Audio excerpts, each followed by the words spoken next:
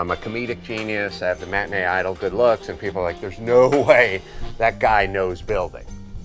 But I do. Would you like to quiz me a little bit on framing? Okay. Galvanized, 3 eighths by 3 inch. Tradesman you are. You want to taste? What's the difference between a chisel and a cold chisel? Well, cold chisel was in the freezer. I'll do the jokes here, Yes, Ben. sir. You got a tape measure on your belt. That means business, except for this came in Barbie's dream house. 12 foot. What are you gonna do with this thing? Andy, get rid of that. Get a real tape measure. Are you good with your hands? I would say below average. You're one of those college guys. That's the Thinks your problem. poop doesn't stink, huh? That's You the think you're better than us blue collar guys. Let me tell you who won the wars and built the bridges in this country. Me and Grampy. How do you live with this guy? It's it's tough. My next life, I'm gonna know nothing about building, and I'm gonna drive a smart car and tell everyone to kiss my ass.